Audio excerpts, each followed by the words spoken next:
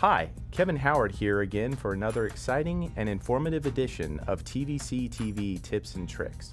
Today, we're going to be focusing on the all important topic of lighting. Specifically, we're going to take a look at the basic lighting principle called three point lighting. After that, I'll introduce some other creative variations to this standard lighting arrangement. Let me first begin by saying that I can't stress enough the importance of lighting in composing top notch video. Even more important than a good quality camera and lens, your lighting setup is crucial to shooting professional looking footage. It can take quite a bit of time to set up the proper lighting, but make sure you take the time because the end result is certainly worth it. Three-point lighting was actually a concept that originated in theater. Single light sources created harsh shadows on the stage actors and made their faces hard to see. To correct for this, lighting designers decided to place lights on both the left and right front sides of the stage actors. Also, in order to counter the perceived lack of depth on stage, designers placed a third light above and behind the performer. This third accent light separated the performer from the background and added visual depth to the stage. As a result, the classic three-point lighting principle was born. This basic lighting setup is still used today in both professional television and film production. Three-point lighting uses, as the name implies, three different light sources. These lights are called the key light, fill light, and backlight. The key light is the primary light source and usually the strongest light out of the three. It is normally placed on one side of the subject at a 10 to 45 degree angle from the camera's position and raised 15 to 45 degrees above horizontal. The key light is positioned so that one side of your subject is well lit, while creating some shadow on the other side. The key light can be used without adding any light filtering elements to create harsher shadows, or you can add a variety of diffusion materials that soften the light, greatly reducing contrast. Depending on the mood of your shot, many times placing a diffusion gel, silkscreen, or softbox on the light source can even out the light and create a visually pleasing composition. As you can see, by manipulating the intensity of the key light, you can produce lighter or darker shadows on your subject's face to give your talent a harsher or softer appearance, which affects the overall mood in your shot. Just be careful with your shadows to avoid unpleasing looking images. When shooting outdoors, the sun oftentimes substitutes as your key light. But if you can, try to avoid shooting under direct midday sun as it can create very harsh shadows on your subject. If you have no other option than shooting under direct midday sun, it is recommendable to use a silkscreen, as seen here using TVC TV silkscreen, to diffuse the intensity of the sun. Or you can use a reflector to fill in the shadows.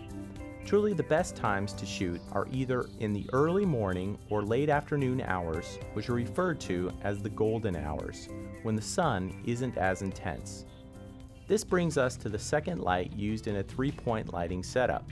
This light is called the fill light. The function of this light is to fill in the shadows created by the key light. The fill light is usually placed on the opposite side of the camera from the key light. It is normally softer and less bright than the key.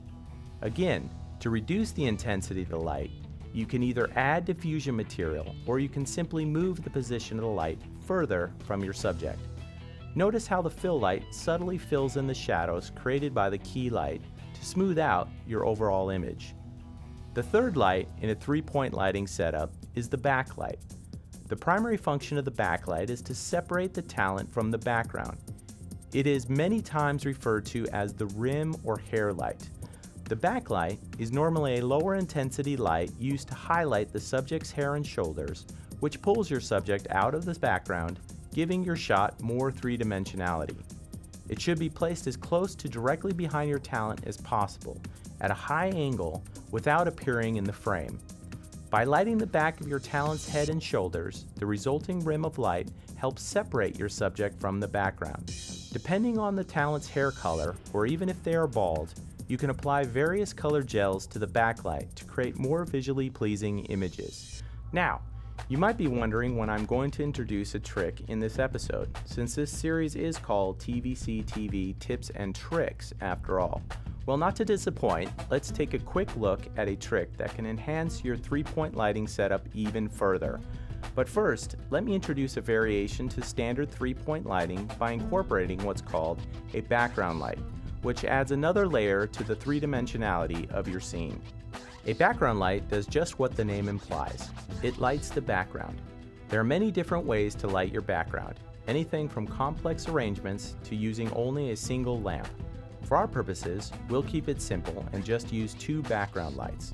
Now, here are some tricks. By adding a gel to the light and slashing it across your background, you can create some pretty interesting visuals. You can enhance your background even further by adding elements to a light, like a gobo, or putting an object in front of a light to create distinct shadows as seen here. All of these tricks can be used to create that perfect shot in your next epic production. And although three-point lighting is certainly a time-proven and useful starting guide to properly light a scene, just keep in mind that there are many variations to this standard lighting arrangement. The key to establishing that specific mood you are trying to convey in a scene is through lots of experimentation and more importantly, your imagination. But just make sure of one thing when you're planning your next shoot. Don't overlook the importance of lighting. Well, that's all the time we have for this edition of TVC TV Tips and Tricks. If you're interested in learning more exciting techniques, be sure to sign up for our in-depth production classes by checking out our website at www.tvctv.org.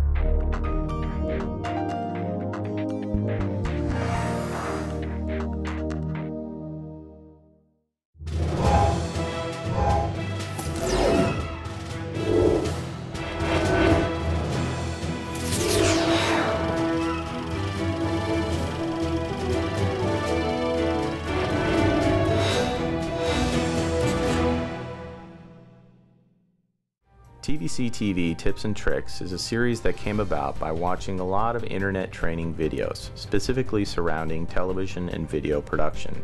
A lot of the videos I saw I felt conveyed the message but truly weren't up to the production value I was looking for. I felt I could produce better quality videos. As a result, I jumped in headfirst and decided to produce some of my own videos for not only my students, but the public in general. Three Point Lighting is actually the second in a series of videos that I will be producing to showcase what goes on behind the scenes in television production. For Three Point Lighting, initially I had to write the script. After writing a generic outline for the script, I sat down with Steve, my DP or director of photography, to review the script and make changes as needed. One of the first sequences we had to shoot was the 1920s flapper sequence.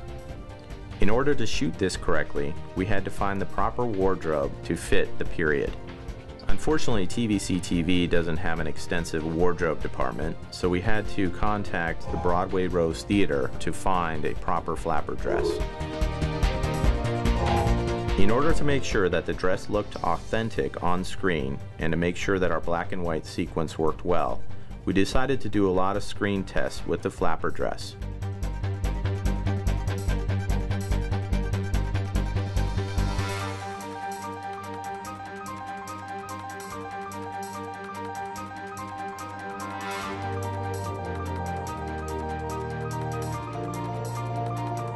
Once we were satisfied with all the screen tests, we then went into full-scale production.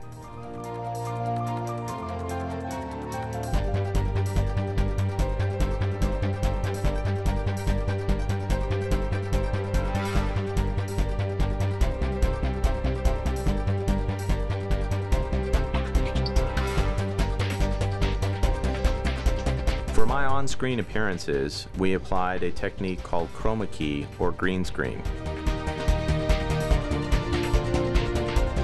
Here you can see how the effect is accomplished with and without the chroma keyed background.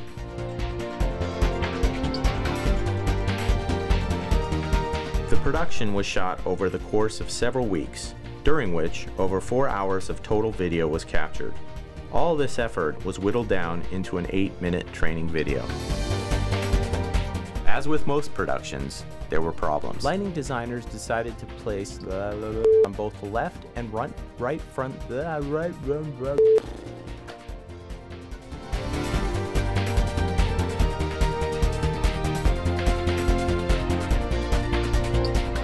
Well, I hope you've gained an understanding of what goes on behind the scenes in a television production.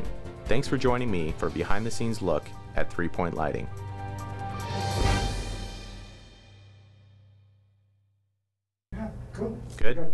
Yeah, that was too good. Yeah, I'm getting so better at this. now you're just gonna if I know I'm short, I'm I'm not on screen too long.